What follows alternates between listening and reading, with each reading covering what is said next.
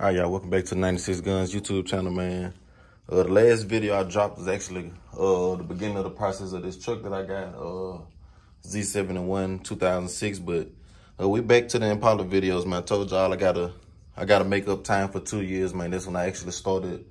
Uh, actually, when I bought the Impala was August of 2019, and I let it sit. You know, wasn't really rushing the process. and I'm really wasn't even focused on the process, honestly, man. I should have been had this done, but didn't know I was gonna make a channel out of it. And you know, a year later, I made a channel, and now I got to go back and remake these videos. But uh, I'm actually gonna repaint this piece for y'all to show y'all exactly what I did. But I pulled out basically everything I could get to on the inside without damaging it. And uh, like I said, we got the medium gray and a gloss clear clear coat pulled out a lot of the panels and other things like, uh, you know, door controls. Uh, that's your speaker, you know, speaker piece right there. This goes on the fender. You know, that's the, the dash piece, which I had to find one of those to repaint it.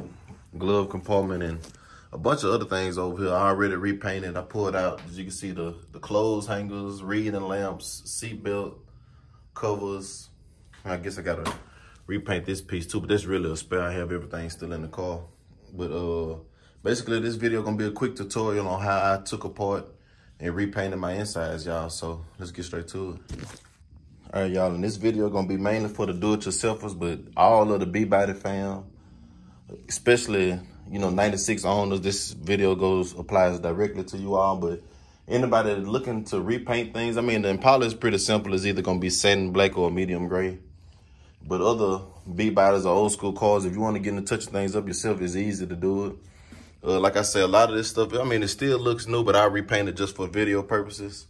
But all of this stuff was painted two years ago, and it's been kind of sitting up in my shed or in my garage. And I mean, just want to drop knowledge on how I did and then hopefully build somebody else's confidence up to do it. But pretty much all you'll need is, for one, you're going to need always need patience, man. Don't rush through it. Make sure it's an off day. Make sure you don't have nothing else playing so you can take your time, focus, you know, let you some music play.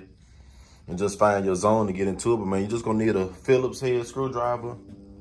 Uh, this piece here, I actually didn't use this, but I could have. But I, I bought it later for when I do have to do other things. But this is how you're gonna unsnap a lot of a lot of the panels on the inside of the car. The most tedious thing is the lower dash, so be careful with that.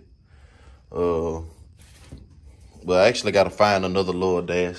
Uh, I had a white Caprice 95 with 35,000 original miles on it. And the guy that I sold it to, uh, I mean, months later, I ended up selling him the lower dash just to kind of help him complete his car. Since I did take it out, I didn't feel too bad about making the decision because my Impala didn't come with one. And with the confidence that I'll find another one, even though they seem to be extinct now, when I do find one, I can get it looking to par. So it just is what it is. You know, I, I wanted to help a brother out, as you can say. But uh, and basically, you know, those the colors you're gonna use. Next video, like I say, the mold have came back in my uh, car because I have a fish tank in my garage, and I guess the water and the and the moisture in the air kind of you know bothers the leather. But to clean the leather, I've done it before, so I have to do it again, make a video process. What I used was rubbing alcohol.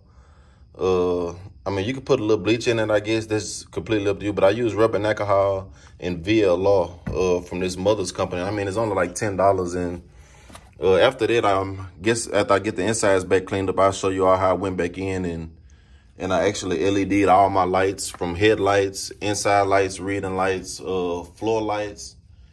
Uh, I have to get behind my dash to, well, I'm going to Dakota Digital. But even for the air controls, I was gonna swap that light and the light for your gear shifters or your gear indicator.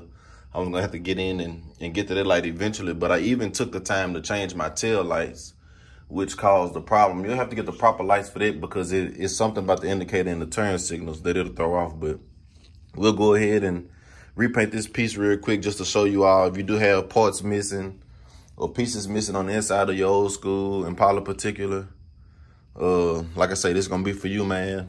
Just find a part, find a good, decent part, man. You can actually repaint it. You'll get a real good finish to it. All right, so like I said, I already kind of wiped this down so there's no dust on it. You always want to clean it off.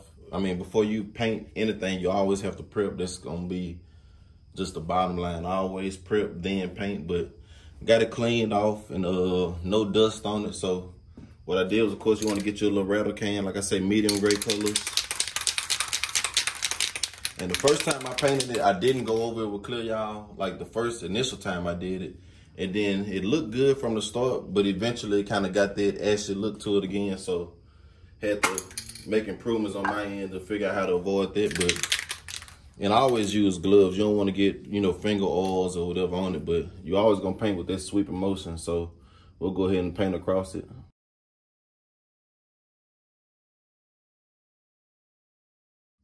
All right, so we got that piece painted up. And uh, like I say, medium gray. And you'll have to take your time. I'm kind of trying to rush through the process for the video, but after you get a good gray coat on, like I say, it'll look a little ashy over time. And what I did was just go back over with a clip just to put that good finish on it.